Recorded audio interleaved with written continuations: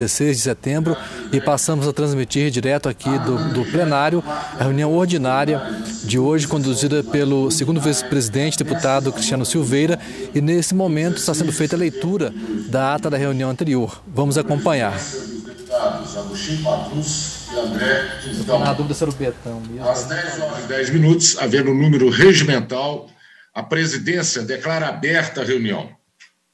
Vários deputados compareceram, e, nos termos do parágrafo 3 do artigo 2 da deliberação da mesa número 2737, barra 2020, dispensa a leitura da ata da reunião anterior, a qual é dada por aprovada, e a subscreve. Nos termos do edital da convocação, passa-se a segunda parte da reunião, momento em que o presidente presta esclarecimento sobre a votação remota e suspende a reunião por 10 minutos para entendimentos entre as lideranças sobre a apreciação das matérias constantes na pauta. Reabertos os trabalhos e anunciada a votação, em turno único, do projeto de resolução número 107-2020, a presidência, nos, na, nos termos do parágrafo 2 do artigo 145 do Regimento Interno, designa relator da matéria o deputado André Quintão, que emite seu parecer. A seguir, é o projeto submetido à votação nominal e remota e aprovado, ficando portanto, aprovado em turno único. O projeto de resolução número 107/2020, nesse passo, suscita questão de ordem do, do deputado Sargento Rodrigues. Anunciada a votação em turno único do projeto de lei número 1841/2020, o presidente, nos termos do parágrafo 2 do artigo 145 do Regimento Interno, designa relator do projeto o deputado André Quintão, que emite seu parecer. Ato contínuo é o substitutivo número um submetido à votação, nominal e remota e aprovado, ficando, portanto, aprovado em turno único. O projeto de lei número 1841-2020, na forma do substitutivo número 1. Isto posto, a presidência designa o deputado André Quintão, relator dos pareceres de redação final do projeto de resolução número 107/2020, e do projeto de lei número 1841/2020, o qual emite seus pareceres. Na sequência, são submetidos à votação nominal remota e aprovados, cada um por sua vez, os referidos pareceres de redação final. A seguir, fazem uso da palavra para declaração de voto o deputado Cristiano Silveira, a deputada Laura Serrano, os deputados Alencada Silveira Júnior, Bartô, Raul Belém e Sargento Rodrigues a deputada André Jesus, o deputado Carlos Pimenta e a deputada Marília Campos. Cumprido o objetivo da convocação, o presidente encerra a reunião, convocando as deputadas e os deputados para a ordinária de logo mais às 14 horas, com a ordem do dia regimental. Levanta-se a reunião, presidente. Em discussão a ata. Não havendo quem sobre essa se manifeste, dou por aprovada. As orientações gerais para a reunião, a presidência, diante da emergência de saúde pública ocasionada pela pandemia da Covid-19 e da importância da adoção de procedimentos de prevenção à infecção e à propagação do coronavírus, esclarece que a reunião ordinária será realizada de forma remota, nos termos da deliberação da mesa 2737 de 2020 e do regimento interno, observando-se também as seguintes diretrizes. Somente será registrada a presença nas reuniões plenárias das deputadas e deputados que ingressarem na plataforma do Sileges ou no ambiente de videoconferência Zoom. Os parlamentares podem se inscrever por meio da plataforma Sileges para, para falar no grande expediente pelo prazo de 15 minutos, nos termos do artigo 26, combinado com o artigo 157 do Regimento Interno. Será admitido à parte, no grande expediente, que não excederá três minutos, nos termos do parágrafo 1 do artigo 162 do Regimento Interno, para realizar o à parte, os parlamentares devem se manifestar pelo chat online, escrevendo expressamente à parte. Para arguir questão de ordem, nos termos do artigo 166 do Regimento Interno, os parlamentares devem se inscrever pela plataforma Sileges na aba Reuniões Plenário. Será cancelada a inscrição do deputado que, chamado, não estiver online no sistema de comunicação remota utilizado pela Assembleia. Nesse caso, o deputado deverá se inscrever novamente se ainda quiser fazer o uso da palavra. Havendo problemas técnicos ou perda de conexão, a presidência passará ao próximo parlamentar inscrito e, assim que o deputado voltar a se conectar, ele será chamado para continuar seu pronunciamento pelo tempo que lhe restar, desde que ainda não tenha sido encerrada a respectiva fase da reunião em que o pronunciamento estava sendo feito. Não havendo correspondência a ser lida, a presidência passa a receber proposições e a conceder a palavra aos oradores inscritos para o grande expediente. Com a palavra, primeiro orador, deputado Raul Belém.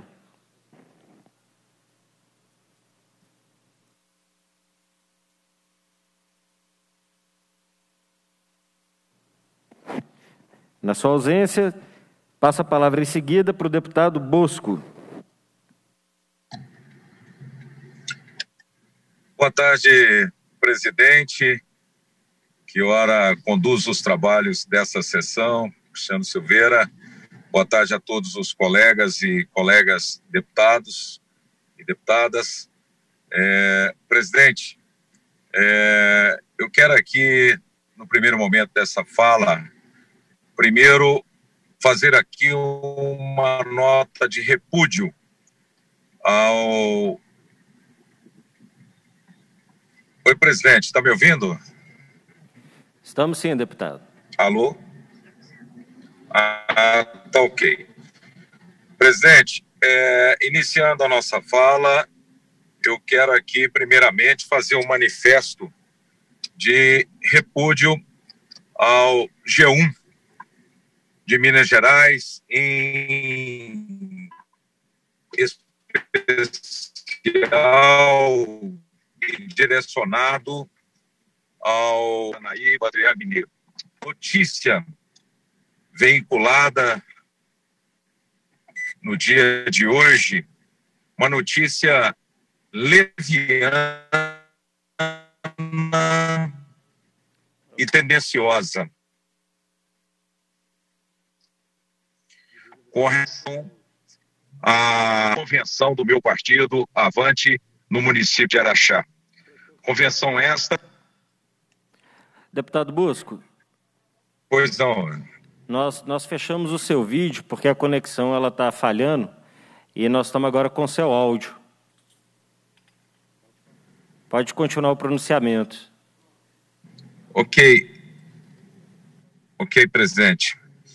Bom, presidente, é, eu quero aqui manifestar é, esse repúdio é, ao G1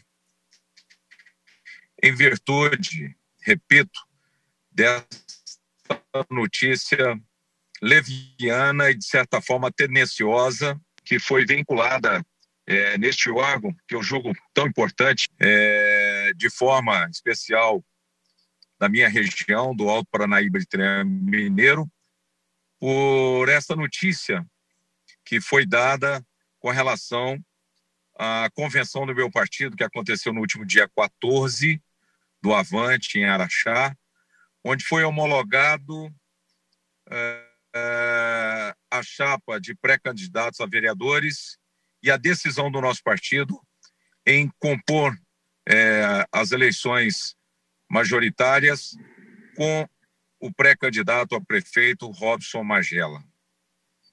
E, lamentavelmente, a, a notícia que foi passada pelo G1, ela traz uma informação que não condiz com a realidade.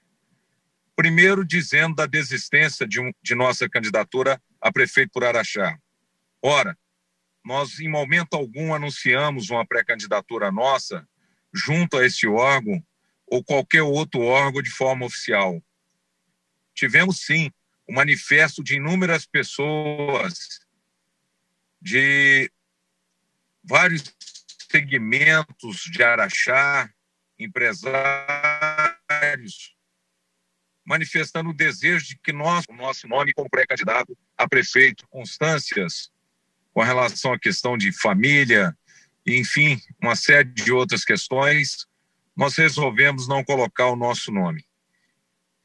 Pois bem, até aí tudo bem em dizer que nós possivelmente tivéssemos desistido de uma candidatura. Mas o pior de tudo, e a, tenden a tendenciosidade, foi em dizer nessa notícia de que nós teríamos ao nosso lado uma pré-candidata a vice-prefeita, que é a ex-secretária de governo municipal. Ora, em momento algum também nós aventamos essa possibilidade de uma composição com esta pessoa. O intuito de colocar esse nome, de aventar a possibilidade de, de termos esse nome, foi de querer nos colar a esta pessoa, que é uma pessoa que não esteve ao nosso lado em momento algum em nossas campanhas como deputado estadual. Pelo contrário, ela sempre esteve contra. Fato é que na última eleição de deputado estadual, ela esteve apoiando a candidata é, a deputada estadual e vice-prefeita de Araxá, e não a este deputado. Inclusive, pelas informações que temos, ela foi uma das coordenadoras da candidata a deputada estadual e vice-prefeita de Araxá. Então, senhor presidente, eu gostaria imensamente que os dirigentes do G1, esse órgão de informação online tão importante, tão sério, né, que é assistido por todos nós diariamente, pudessem apurar qual foi o repórter que fez essa matéria, ou o redator ou redatora que levou ar essa matéria, demonstrando aí uma certa tendenciosidade com relação às eleições no município de Araxá. E nós sabemos que isso não pode acontecer. E nós sabemos que este não é o papel do G1, pelo contrário. Então eu gostaria de me dirigir aos dirigentes do G1 e pedir que esse fato seja apurado. A matéria já foi alterada depois que nós conversamos é, com o diretor comercial da, da TV Integração de Araxá. Mas nós não poderíamos deixar de falar sobre esse assunto aqui, porque nós estamos iniciando um período eleitoral, um período sério de responsabilidade, onde os órgãos de imprensa é, serão de extrema importância para nos ajudar, ajudar os eleitores neste momento de grandes decisões, mas de forma isenta, de forma transparente. E não pode, de forma alguma, de forma alguma, um repórter ou um redator circular ou vincular uma matéria demonstrando o interesse, talvez, de mudar o rumo ou a decisão de uma política em, em que seja no município de Araxá, em qualquer outro município de Minas do Brasil. Então fica aí esse registro, presidente, que nos causou realmente uma tristeza muito grande, não só a mim, mas em todo o nosso grupo e, e principalmente em grande parte da população araxaense. Segundo presidente, quero falar de uma coisa boa, que é com relação à lei Aldir Blanc, é, nós sabemos que esta lei é uma lei que foi aprovada pelo Congresso Nacional, sancionada pelo presidente e que tem como objetivo principal um apoio emergencial às pessoas que fazem a cultura de Minas Gerais né, e do, de todo o Brasil e também aqueles que promovem a cultura, promovem os eventos também na área de turismo. Só para Minas Gerais, caro Cristiano Silveira, foram destinados aí algo em torno a 135 milhões a ser distribuído entre os 853 municípios de Minas Gerais. Porém, nem todos os municípios estão preparados para realizar esses editais e efetivar né, a formular os projetos para que realmente esses municípios possam utilizar desses recursos. E, em virtude disso, e numa parceria com a Secretaria de Cultura e Turismo, também com o CONSEC, a Assembleia, por deliberação do nosso presidente Agostinho, né, estará participando efetivamente na realização de várias ações visando aí uh, um apoio a todos os municípios, às prefeituras, aos conselhos eh, municipais, para que realmente esse recurso possa ser utilizado e não devolvido aos cofres da União. Porque nós sabemos que essa classe é, da cultura, do turismo, foram os primeiros a sentirem o drama desta pandemia e certamente serão os últimos a sair desta situação, porque não pode haver mais é, aglomeramento, né? não podemos ter mais é, shows, apresentação de teatro e danças é, em determinados lugares, né? e, sobretudo, de forma presencial. Então, nós estamos aí nesse intuito de poder trabalhar para que todos os municípios de Minas Gerais possam, através dessa parceria, contar com a Assembleia de Minas Gerais, contar com a Secretaria é, de, de Cultura e Turismo de Minas Gerais, com o CONSEC, contar com a nossa Comissão de Cultura, para que realmente eles possam, nesse curto espaço de tempo, estarem aptos a receberem esse recurso e mais do que isso, fazer com que esse recurso possa chegar né, a esses fazedores de cultura, né, esses artistas né, que lutam muito para trazer para a nossa gente é, cultura, lazer, arte e entretenimento. Então fica aí, pois, essa nossa colocação e já agradecendo toda a equipe da Assembleia que não estão medindo os esforços para que nós possamos agora, é, logo, logo, realizar é, um seminário online pela Assembleia Legislativa nessa parceria, para que realmente nós possamos chegar nos 853 municípios. E, por fim, presidente, nós vamos sugerir também ao presidente, através desse seminário, com essa parceria que eu não posso deixar de citar aqui, da Escola do Legislativo a nível de Brasil, entre todos os, os legislativos brasileiros, né, que está participando também efetivamente, né, nós vamos estar elaborando aí uma cartilha, com apoio do nosso presidente Agostinho, para que todos os deputados possam trabalhar nos seus respectivos municípios, colaborando de perto com as secretarias de cultura, com as prefeituras e com os conselhos é, municipais é, na efetivação desta lei. Presidente, era o que nós tínhamos por momento. Agradeço pela atenção e peço desculpa aí né, a, a dificuldade aí de estar participando é, com a imagem aí ao vivo, é, em virtude da gente estar em trânsito ainda a caminho de Belo Horizonte. Um grande abraço, boa tarde, muito obrigado, presidente.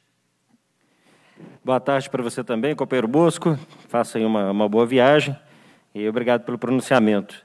Na sequência, próximo escrito, deputado Betão. Obrigado, presidente. Senhor presidente, senhoras e senhores deputados, trabalhadores da Assembleia Legislativa e todos aqueles que nos acompanham pela TV Assembleia, é, muito boa tarde. É, eu vou estou trazendo, senhor presidente, dois assuntos para esse para a tarde de hoje, é, nesse plenário, que um que trata como que o governo né, vem tratando as contas públicas. E também vou abordar questões referentes à Copasa, nessa importante companhia de saneamento e tratamento de água de Minas Gerais. Então, eu gostaria de iniciar minha intervenção, senhor presidente, deixando claro que os números que eu vou apresentar aqui não são números da oposição ou dos adversários do governador. Né? São números do próprio governo presentes no portal Transparência. Isso, e essas informações elas estão disponíveis nesse portal, portanto, eles podem ser confrontados por todas as pessoas interessadas em acompanhar as contas do governo de Minas Gerais, presidente. Nós estamos falando de uma gestão acredito eu, irresponsável do governador em relação aos servidores públicos estaduais, à saúde e à educação. A atitude do governador, ele privilegia fazer dinheiro em caixa e não honrar com as despesas do Estado. O senhor Romeu Zema parece que não quer fazer a economia girar e colaborar para que o Estado tenha uma resposta mais eficiente e positiva nesse cenário de pandemia. Então, senhor presidente, de acordo com o levantamento que nós realizamos, a receita arrecadada de janeiro a setembro desse ano, né, o governo estadual ele recolheu 70 bilhões e 500 milhões de reais aos cofres públicos. Eu vou repetir para ficar bem claro, hein, senhor presidente? E todos que nos acompanham na TV Assembleia. 70 bilhões e 500 milhões de reais foi arrecadado. Desse valor arrecadado, o governo tem compromissado, ou seja, empenhado 67 bilhões e 800 milhões. No entanto, ele efetivamente pagou 54 bilhões e 900 milhões de reais. Portanto, tenta em caixa 15,6 bilhões de reais para compromisso a pagar. Isso mesmo, viu, senhor presidente? É são 15,6 bilhões de reais em caixa. Então eu me pergunto, por que, que o governo está guardando dinheiro debaixo do colchão? Que compromisso é esse? O que, que o governo está fazendo com dinheiro em caixa? Está especulando com dinheiro público às custas do atraso do salário dos servidores? Eu entendo que o governador deveria vir a público e dizer aos servidores públicos estaduais que está atrasando o pagamento dos seus salários para especular com dinheiro público, ou guardando para fazer dinheiro em caixa. É um verdadeiro absurdo, senhor presidente. E ainda aprova essa malfadada reforma da Previdência, dizendo que era isso que colocaria o salário dos servidores em dia, sendo que o dinheiro está lá, está em caixa. O governador não tem cumprido os compromissos que ele próprio criou em seu governo. Para ter uma ideia, eu vou trazer aqui para os senhores, à luz as despesas atuais e os restos a pagar. Fundo Estadual de Saúde, 7,2 bilhões de reais. Secretaria de Estado da Educação, 2,9 bilhões de reais. O IPSENG, 39 milhões. FAPEMIG, 18 milhões. FEMIG, 47 milhões. Fundação Ezequiel Dias, 133 milhões. E pecúlio por modo de servidores, 94 milhões. Então, senhor presidente, a soma de todos esses restos a pagar perfaz um total de 10,7 bilhões de reais, de um total de 15,6 bilhões de reais em caixa. Ou seja, ele arrecadou 70,7 bilhões, pagou 54,9 bilhões, tem em caixa 15,6 bilhões e restos a pagar de 10,7 bilhões. Então, o governador não tem compromisso em dia os pagamentos da saúde e da educação. Porque se ele pagasse 7,2 bi para o Fundo Estadual de Saúde e quase 3 bi para a Secretaria eh, de Estado de Educação, você teria melhor qualidade dos serviços prestados à educação e melhor qualidade nos serviços prestados de saúde. Iria, de fato, valorizar os servidores públicos. Então, o que está acontecendo aqui, no nosso entendimento, é que o governo está fazendo caixa, deixando de repassar recursos, para o Fundo de Saúde, deixando de pagar compromissos com a educação. É um vexame na administração do dinheiro público, senhor presidente. É a desvalorização dos serviços públicos, oferecendo à população de Minas Gerais serviço com limitação de investimento. Chamo a atenção novamente e aqueles que quiserem consultar, está no portal da transparência, é só buscar lá que vai chegar esses números. Eu queria também, já entrando no segundo assunto, senhor presidente, chamar a atenção de todos os mineiros e mineiras é, para uma das mais importantes empresas de saneamento e abastecimento de água no Brasil. Está aqui em Minas Gerais, que eu estou falando da Copasa. Né, eu destaco aqui a sua importância e vou apresentar alguns números, senhor presidente.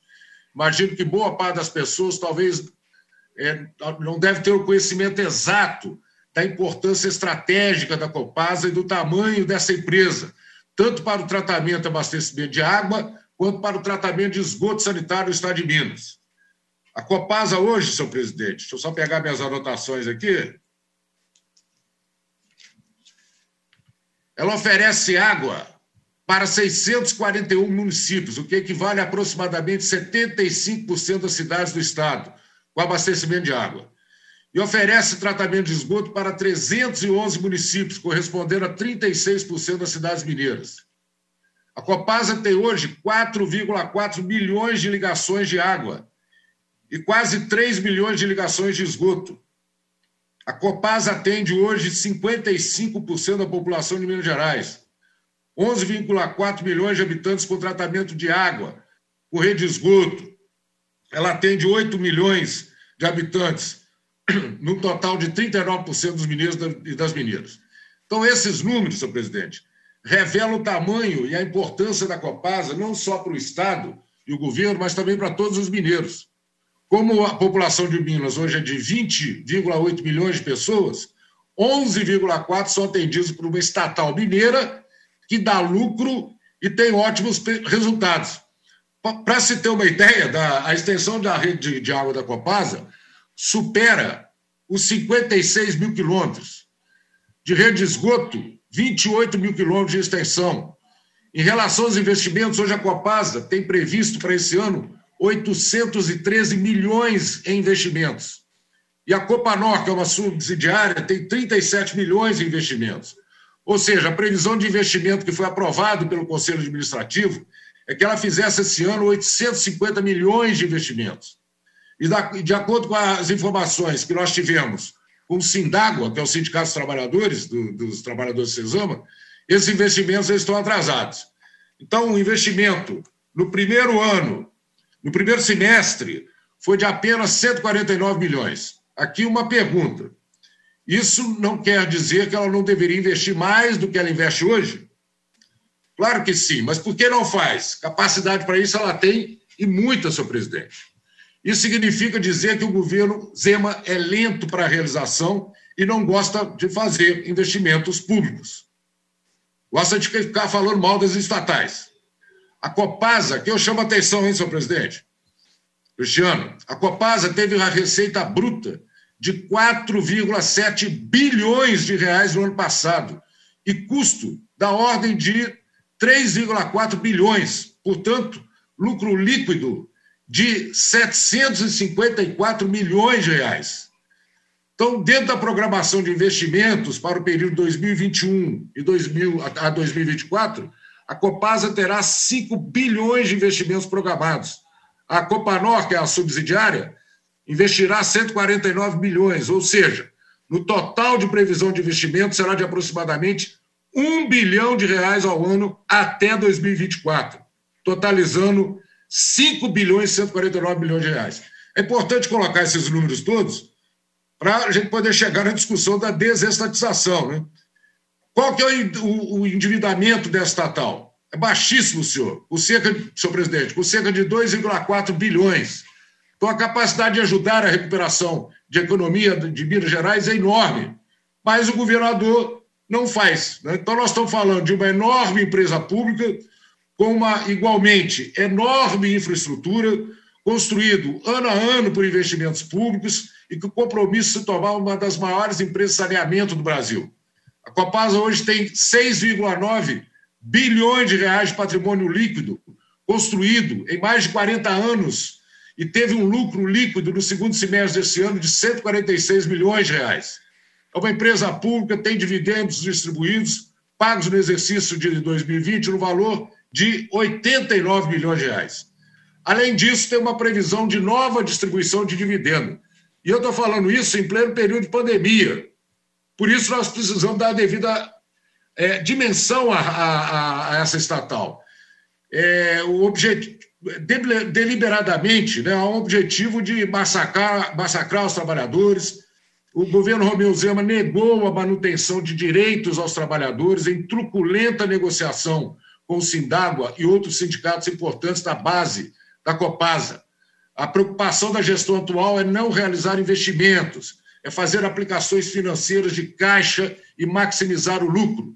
O Zema quer repartir os dividendos e não realizar investimentos por todo o Estado, que geraria mais empregos locais, ajudando a diminuir os impactos da crise que vem se arrastando há quatro anos. Então, para concluir, senhor presidente, eu não sei se cheguei ao meu limite aí, eu quero afirmar o seguinte, que é um absurdo no momento dessa de pandemia, você ter uma estatal desse tamanho é, primeiro, sendo cogitada ser privatizada, e segundo, com um bilhão de reais parado em caixa. Então, a Copasa, senhor presidente, diferente do resto da economia mineira, vai muito bem, obrigado, viu, presidente? Mas o governador, em vez de se preocupar com melhorar as condições do serviço público e a saúde é, dos mineiros, procura, se preocupa em arrochar salário, destruir, é, distribuir maiores dividendos, depois vender nosso patrimônio. Romeu Zema trata saneamento e abastecimento de água, assim como trata saúde e educação no Estado. Ele gosta de ficar com o dinheiro parado em caixa, como eu disse na, na discussão anterior. Ele arrecadou 70 bilhões de reais, pagou 54 e tem caixa 15 bilhões. Isso realmente é um absurdo. Né? No momento que você precisa que o Estado cumpra com o compromisso de geração de emprego, com melhoria da qualidade de vida, com melhoria da educação e da saúde pública. É por essas e todas e tantas outras razões, senhor presidente, eu sou contra a privatização da Copasa, ou desestatização, como ele tem chamado, da CEMIG, da MGS, que eu pude falar também outro dia aqui a respeito da, da situação dessa empresa. Eu vou empenhar para derrotar esse projeto, claro, junto com a nossa bancada, que é mais um daqueles projetos nefastos para Minas Gerais e para os mineiros. Então, senhor presidente, Água não é mercadoria, é um bem público. Né? Privatizar a água é caminhar na contramão de muitos países desenvolvidos que, nos dias de hoje, eles estão reestatizando, senhor presidente, empresas distribuidoras de água, como é o caso que aconteceu na Alemanha, na França, na Bélgica e também nos Estados Unidos. Então, senhor presidente, é... eu queria terminar por aqui, senhor presidente, e deixando claro né, as palavras de ordem que estão sendo já colocadas pelos trabalhadores, né, e que eu assumo também, não a privatização da Copasa, água não é mercadoria, é bem público, que o governo cumpra o seu papel social, pagamento em dia dos servidores públicos estaduais, investimentos públicos para benefício da população, e não para, para favorecer investidores e especuladores do mercado financeiro. Senhor presidente, agradeço. Boa tarde a todos e todas. Obrigado. Muito obrigado, deputado Betão. Dando sequência, passamos para a próxima oradora, deputada Ana Paula Siqueira. Boa tarde, presidente. Boa tarde, colegas deputadas, colegas deputados, todo o povo mineiro que nos acompanha nessa tarde. E eu quero compartilhar hoje com vocês dados que me chamaram muita atenção e que nos chamam, na verdade, para uma grande ação, uma ação é, mobilizadora, que é uma ação que deve ser feita inicialmente pelo Estado, pelo Estado de Minas Gerais, mas também por todo o Brasil e por toda a nossa população. Foram publicados recentemente dados do Monitor da Violência, que é uma parceria com o G1, do G1 com o Núcleo de Estudos de Violência da USP e também com o Fórum Brasileiro de Segurança Pública. Esses dados da violência são dados agora, do primeiro semestre do ano de 2020, e que, inclusive, coincide com esse momento da pandemia, né, que nós estamos é, já aí há, há, seis meses vivenciando. E o interessante é, que me chamou muita atenção nesses dados, além de um aumento grande da violência, é que as mulheres, mais uma vez, é, são vítimas é, em maior percentual, com uma diferença muito grande de toda essa violência. E durante a pandemia, presidente, como nós discutimos diversas vezes aqui no primeiro semestre, nas apresentações dos diversos projetos que visam aí o enfrentamento desse momento da pandemia, as mulheres são as mais prejudicadas, né? Seja pela questão da violência física doméstica, que a gente pautou muito no primeiro semestre, seja pelo acúmulo do trabalho em casa, com a administração dos trabalhos remotos, né, com a administração das crianças que perderam também suas redes de apoio, seja porque somos nós mulheres que estamos na linha de frente é, muito, em muito maior quantidade, é, por exemplo, na área da enfermagem, atendendo ali todos os pacientes, seja vivenciando essa violência, infelizmente, né, essa cultura da violência institucional, comportamental, que tanto nos agride e que a gente vê acontecer toda hora, todo tempo, inclusive nesse mesmo espaço aqui da nossa Casa Legislativa, que colegas deputadas já relataram aqui recentes é, agressões nesse sentido. E, e os dados que foram apresentados no monitor da violência trazem alguns, eu fiz alguns recortes aqui que eu quero destacar.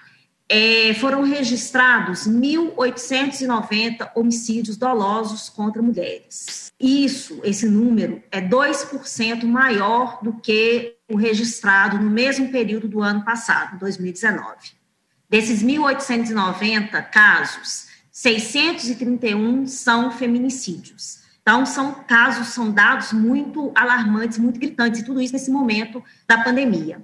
Quando é feito o recorte para a população negra, para as mulheres negras, nós observamos é, que esse dado ele ainda é mais preocupante, porque são as mulheres negras também que registram aí cada vez mais é, é, essa violência, né? Bate muito mais as mulheres negras de, a cada quatro, de três a cada quatro assassinatos, é, em cada quatro assassinatos, três foram cometidos com mulheres negras. São 75% dos casos. Mais da metade das vítimas de estupro são mulheres negras. No, nos casos de feminicídio, a cada cinco feminicídios, três são registrados na população feminina negra. E isso é muito sério, chama muita atenção, porque essa já é uma população que historicamente sofre com os problemas recorrentes de violências, que já é um processo histórico, infelizmente, no nosso Brasil, é quando a gente faz o recorte da nossa população negra, que inclusive é 56% da nossa população. Né? Então, nós estamos falando de um, um, um, quadro populacional muito grande, relevante, o qual eu componho, e eu faço questão de usar a tribuna aqui para chamar a atenção da nossa população, chamar a atenção dos nossos governantes, dos meus pares, colegas deputados e deputados, porque nós precisamos considerar esses dados e trabalhar para ofertas de políticas públicas de melhor qualidade. E esses dados, eles se agravam quando nós é, levantamos a questão da invisibilidade dessa população. Porque, lamentavelmente, embora nós temos todos esses registros, a questão da invisibilidade da população negra ainda é muito grande. É, na pesquisa retrata que mais de 10 estados brasileiros não repassam de forma completa os dados. Falta informação sobre raça e cor. E isso é muito sério. Inclusive, no primeiro semestre, é, nós apresentamos um projeto aqui na casa que foi aprovado, um projeto de autoria das três deputadas negras eleitas pela primeira vez no Parlamento Mineiro, é, assinado por mim, pela Andréa de Jesus e pela Leninha, um projeto que incluiu dados de raça, cor, etnia nos protocolos é, de atendimento da saúde nesse momento da pandemia. O nosso objetivo é que esses dados possam ser posteriormente aproveitados pelo Estado para é, aplicação melhor das políticas públicas, porque sem dados, sem informação, nós não conseguimos melhorar a qualidade do nosso atendimento. Então, esse projeto ele foi discutido internamente com a, com a Casa, tivemos a aprovação, né, a votação dos senhores e senhoras deputadas, e hoje ele é legislação, e eu espero que logo passado esse período de pandemia, a gente consiga pensar e elaborar políticas públicas de melhor qualidade para essa população. É, 54% dos registros de homicídios de mulheres não possuem informação de raça da vítima. Nos casos de feminicídio, esse percentual é de 47%. E nos casos de é, lesões corporais, são mais de 55%. Ou seja, são números muito altos, né, que precisam estar registrados. A gente faz uma, um pedido aqui de atenção para incluir em todos os protocolos a questão de cor e raça, porque são determinantes para a elaboração das políticas públicas. E a violência, ela atinge muito fortemente a população negra, que já é uma população historicamente excluída nos processos de ocupação de espaço, de acesso a serviços públicos, e a gente precisa mudar essa realidade. Eu quero destacar aqui que o direcionamento das políticas públicas é responsabilidade do Estado. Então, nós precisamos é, discutir esse assunto, combater, inclusive, as desigualdades que existem por detrás desses números, que ainda por cima são números subnotificados. A gente sabe que existem muitos casos que não, não têm registro, né? Então, o Estado precisa aprimorar a sua aplicação de políticas públicas. No primeiro semestre também, queria lembrar aqui, falando em políticas públicas, especialmente voltada também para as mulheres, eu apresentei um projeto de lei que foi sancionado, agora é a Lei 23.680, que cria o Banco de Emprego para Mulheres Vítimas de Violência Doméstica. É, esse projeto foi aprovado, é, e agora eu acompanho a discussão de regulamentação dele, juntamente com a SEDESE, para que, de fato, nós possamos é, entregar à população mineira instrumentos que possam superar essa desigualdade e buscar aí mais dignidade da nossa população. Eu trouxe esses dados, presidentes, que eu acho que são dados muito importantes, muito sérios, e que nós precisamos estar atentos, especialmente nós que estamos aqui no parlamento. Eu quero destacar aqui também é, parabenizar, inclusive, o meu colega deputado Bosco, que trouxe aqui a informação sobre esse seminário, sobre né, é, a questão da, da cultura é, nesse momento da pandemia. É um setor que realmente está muito abalado e que a Lei Aldir Blanc vem no sentido de buscar é, atenção, dar atenção a essa população que ficou aí e que ficará, né, por, por, um tempo ainda maior, sem retorno das suas atividades. Eu quero parabenizar a Bosco pela iniciativa, também a Assembleia por acolher essa iniciativa e dizer que faço coro porque acompanho e faço parte de vários grupos culturais e acompanho vários grupos culturais, especialmente ligados à cultura popular, e são grupos que de fato estão sofrendo muito, precisando desse estender das mãos. É, quero destacar também, presidente, dois outros aspectos nós aprovamos hoje, na parte da manhã, na, na sessão extraordinária, o projeto de lei é, 1841, que inclusive tem anexos vários projetos, entre eles um projeto de minha autoria, que é o projeto 2059. Eu quero só dizer que foi um projeto aprovado por unanimidade dos nossos é, colegas deputados, um projeto que impede a demissão é, de muitos contratados do Estado, alguma coisa em torno de 8 mil é, trabalhadores do Estado. Então, quero também chamar a atenção, porque estamos num momento de enfrentamento e não podemos é, esquecer do impacto que tem sobre a vida de todos os nossos trabalhadores. Para encerrar, presidente, eu quero retomar uma discussão que eu iniciei aqui no ano passado, que eu, da semana passada, e que eu estou é, acompanhando diversos colegas deputados e deputadas a fazer a discussão, Inclusive, o Betão acabou de trazer aqui muitos dados, muitos números sobre a questão da Copasa, e essa é uma pauta que nós precisamos, de fato, estarmos atentos. Né? É, na semana passada, além da notícia né, da contratação desse estudo aí junto ao BNDES, nós tivemos também uma declaração do governador do estado, governador Zema, dizendo que o povo não precisa ser ouvido em relação a essa temática né? E essa escuta à nossa população é, inclusive, é, constitucional, está descrito e previsto na nossa Constituição do Estado. E aí eu quero dizer, sim, que o povo precisa ser ouvido, porque esta é uma companhia, como o colega Betão aqui bem trouxe, que atende a muitos municípios aqui no Estado. 75% do Estado é atendido, seja por questão de água, seja por questão do esgoto. Então, nós precisamos nos debruçar muito sobre essa matéria, sobre essa temática. É, já existem aí várias, é, vários textos, várias entrevistas dizendo da, da má qualidade da Copasa. Eu até sei, de fato, que a Copasa precisa melhorar o seu atendimento. Na semana passada, nós tivemos diversas reclamações aqui na região metropolitana de falta de água, foram vários municípios. Temos muitas reclamações também no interior do estado, mas ainda assim eu quero destacar a importância dessa empresa para o estado de Minas Gerais, para o atendimento, sobretudo, dos municípios menores, dos municípios é, é, mais vulneráveis, da população mais vulnerável. E eu escutei uma entrevista é, do subsecretário de, de Desenvolvimento, e ele dizia dos inúmeros exemplos, Brasil afora, de onde foi um sucesso a implementação é, da privatização das companhias. Mas eu ando fazendo alguns estudos, eu quero compartilhar aqui com os senhores e com as senhoras. Eu não encontrei diversos casos no Brasil.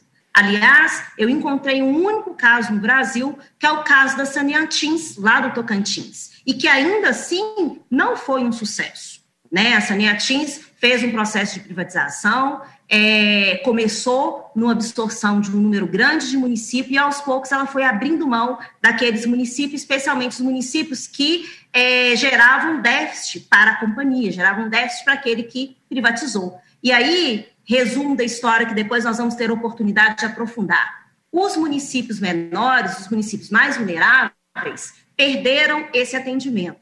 Né? Então, não é verdade que esse é um exemplo é, que vai dar certo, porque ele já não deu certo com a única companhia que pode se comparar à Copasa aqui no Brasil. Queria chamar a atenção, dizer ao Betão que essa também é uma luta que eu estou acompanhando, uma discussão que precisa ser feita de forma muito consciente, muito responsável por nós, deputados, e após as nossas análises, precisa sim ir para é, a votação popular, precisa sim a população apreciar, inclusive, o que nós, deputados, iremos votar. Isso está previsto na nossa Constituição nós não podemos abrir mão porque né, é mais ou menos como aconteceu com, bio, com o nióbio, né? Era necessário, era indispensável, foi, foi feita a força-tarefa, foi feita, feita a votação e deu em água. Nós não podemos deixar, literalmente, a nossa companhia de água dar em água, sobretudo no que diz respeito aos nossos mineiros e mineiras que precisam da água, que é garantia é, de vida né, para todos nós. Então, presidente, Queria encerrar é, hoje no meu pronunciamento chamando atenção para esses aspectos. A questão do meu primeiro, da minha primeira colocação em relação aos dados da violência, gostaria muito que a gente pudesse, cada um de nós, debruçar um pouco mais sobre pensar como ajudar o Estado de Minas Gerais a cuidar da sua população, especialmente das mulheres, especialmente das mulheres negras. Muito obrigado, presidente. Obrigada a todos os colegas e colegas deputados. A gente se encontra em outras pautas. Obrigado, deputada Ana Paula. Próximo orador escrito, deputado Sargento Rodrigues.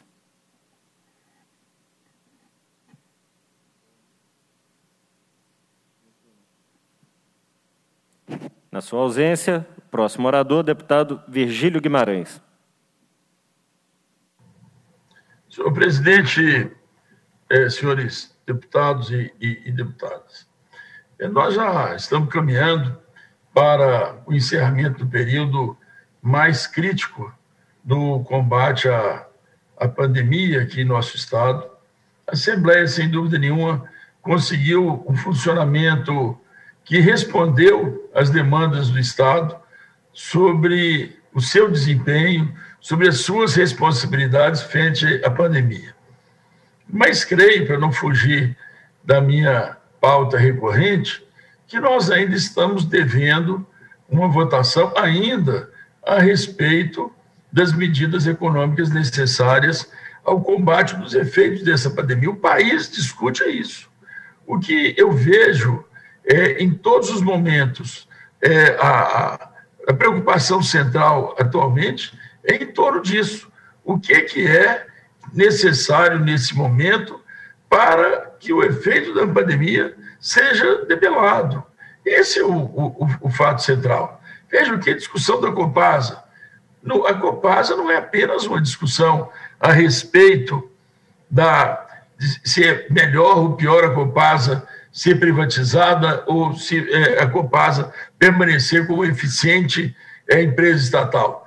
É saber o impacto da questão do saneamento básico, não só na saúde pública a médio e longo prazo, que saúde também deriva, e sobretudo deriva, do saneamento, como também as obras de saneamento como um motor de desenvolvimento.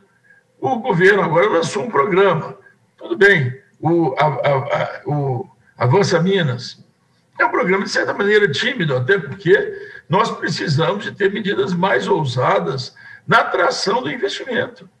A cada momento, nós temos que ter uma principalidade. Nesse instante agora, onde o mundo está temeroso, a exceção talvez da China, que tá, está conseguindo, inclusive, dar passos adiante, graças ao seu arrojo, à sua coragem em fazer, tomar as medidas necessárias. A, a, a China, sim, está conseguindo superar esse momento difícil através da coragem em fazer e tomar as medidas necessárias. Nós também, em Minas Gerais, precisamos de ter esse mesmo arrojo. Uma coisa é um momento onde nós precisamos, talvez, de preocupar com controles externos, etc. Hoje é o momento em que nós precisamos de ter como principalidade é, exatamente como atrair mais investimentos e facilitar mais que esses investimentos se realizem. São investimentos públicos, sem dúvida. Não adianta vir, ter uma discussão ideológica a respeito se o setor público é bom, gigantismo estatal. Isso é uma conversa que, nesse momento, está muito superada. O mundo já percebeu que o setor público precisa do investimento público. Isso já é um, algo assim que eu diria até de alguma maneira fora, porque em todos os momentos da crise do mundo, foi assim na crise de 29, foi assim na crise de 2008, foi assim em todas as crises. O, o, o intervencionismo não é uma questão ideológica. A capacidade de, da regulação do Estado e o Estado funcionar como motor do investimento e, e, se mostrou eficaz. E agora, mesmo considerando de alguma medida tímida a ação do governo do Estado de Minas, foi buscando exatamente o que, que o Estado pode fazer para provocar, para facilitar, para acionar os instrumentos que ele tem, tem condição de ter, para viabilizar esses mesmos investimentos. Portanto, eu volto aqui, como eu disse, sabendo até, tendo consciência de, estar sendo, de alguma maneira, recorrente é, nessa discussão que sempre coloco, mas eu não vejo como desconhecer, nesse momento, algo tão importante feito isso.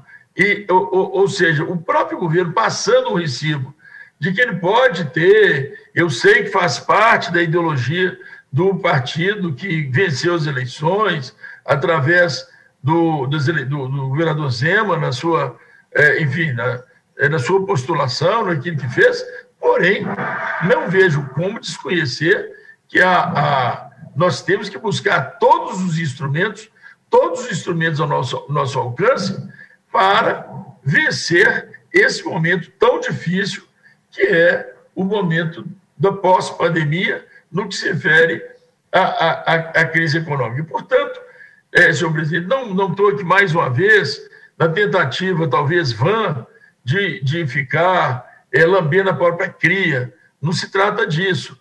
Eu é, considero até uma obrigação da minha parte, pela, pela minha é, expertise pessoal, pela minha dedicação ao tema, de buscar, evidentemente, é, é, soluções na área econômica. Porém, é, eu busquei apresentar aquilo que eu tinha capacidade de fazê-lo.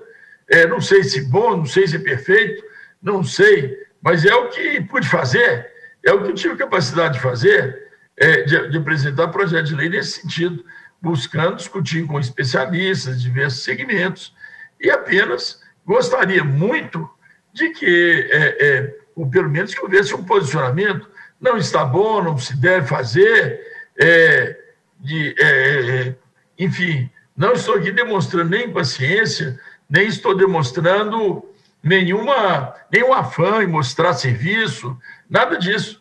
É apenas reiterando aquilo que o mundo se debruça. O mundo hoje se debruça muito mais, abre jornais nacionais, vê o que está sendo discutido na Câmara Federal, vê o que está sendo discutido no Senado, já todo, todo, todo, todo o esforço, todas as atenções estão voltadas para os assuntos de natureza econômica que naturalmente vão se seguir a essa enorme crise da pandemia.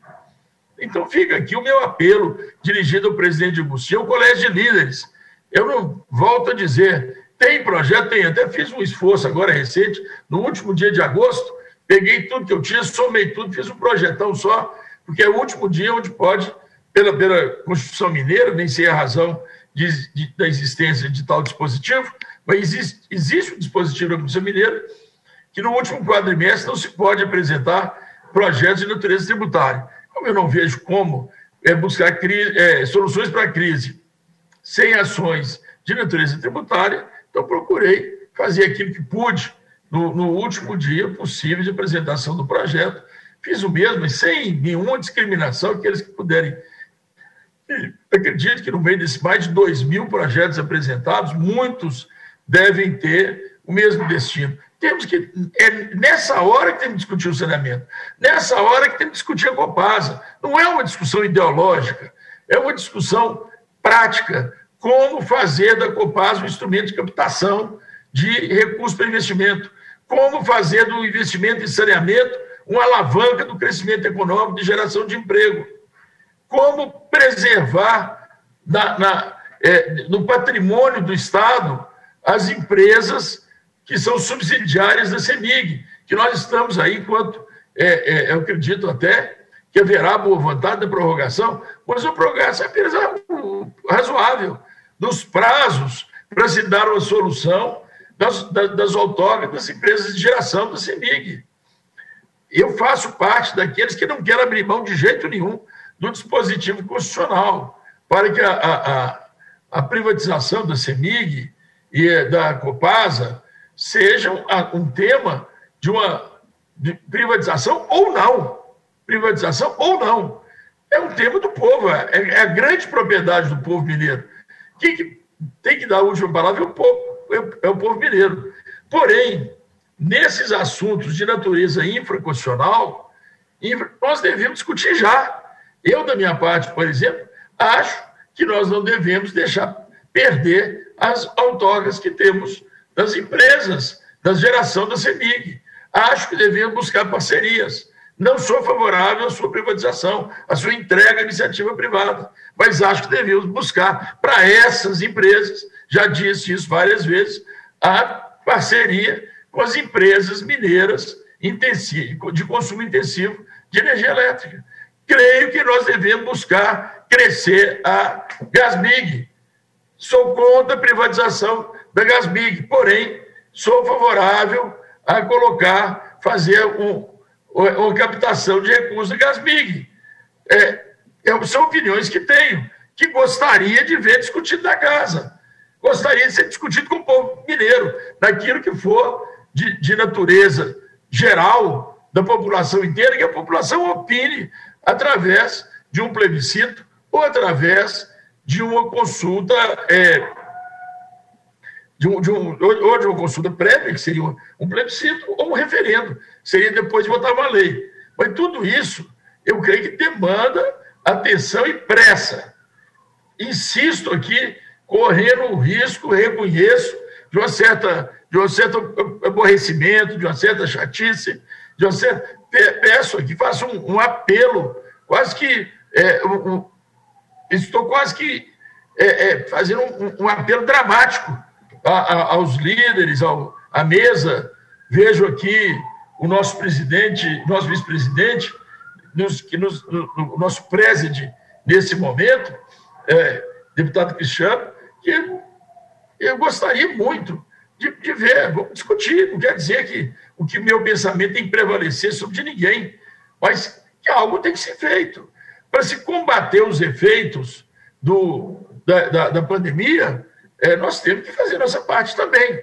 E não apenas aguardar que o, o que o governo vai fazer. O governo tem que fazer alguma coisa dentro do marco legal atual. É, até vi com bons olhos quando o governo faz uma referência a medidas de que ele precisa de ter mudança no marco legal. Beleza, significa que nós não vamos ficar presos ao marco legal atual. Da minha parte, defendo que não devemos alterar os marcos legais constitucionais, mas os outros devemos.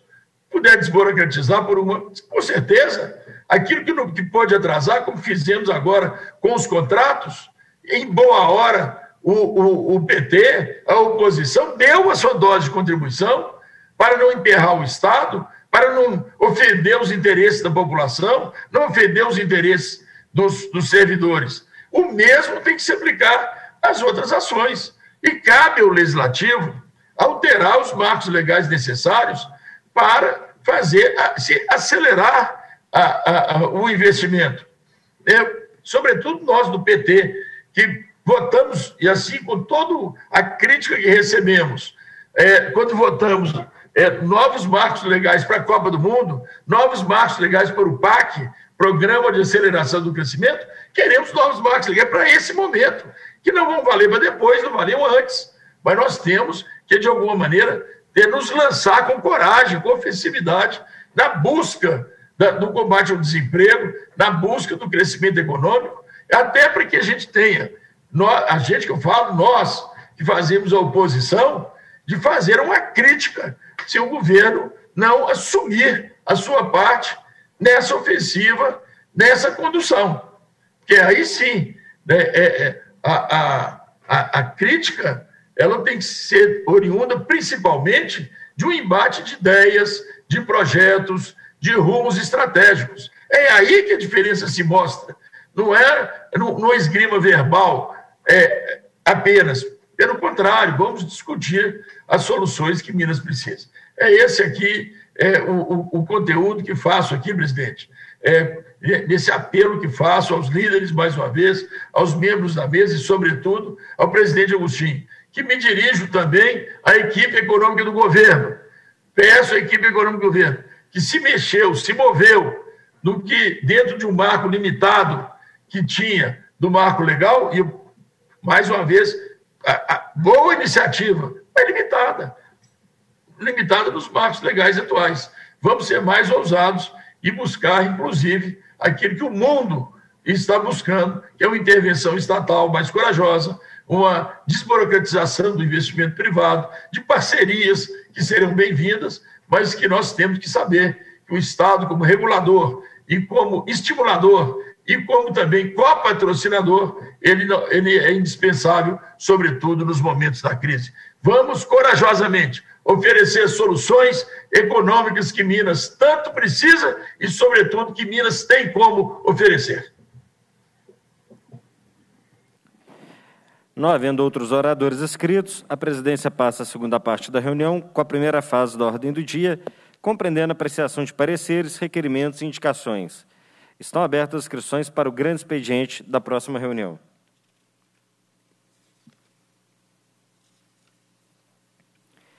A presidência informa ao plenário que, nos termos do item 2.5 do acordo de líderes publicado no Diário do Legislativo de 21 de 3 de 2020, foram aprovados conclusivamente pela mesa da Assembleia os seguintes requerimentos. Requerimento 6.150 de 2020 da Comissão de Administração Pública, requerimento 6.244 de 2020 do deputado Gustavo Mitre, requerimento 6.250 e 6.252 de 2020 do deputado Betão Requerimento 6.251 de 2020 do deputado Carlos Henrique. Requerimento 6.256 de 2020 do deputado Mauro Tramonte. Requerimento 6.259 de 2020 da deputada Beatriz Cerqueira. E requerimento 6.264 de 2020 do deputado Sargento Rodrigues. Publique-se para os fins do artigo 104 do Regimento Interno.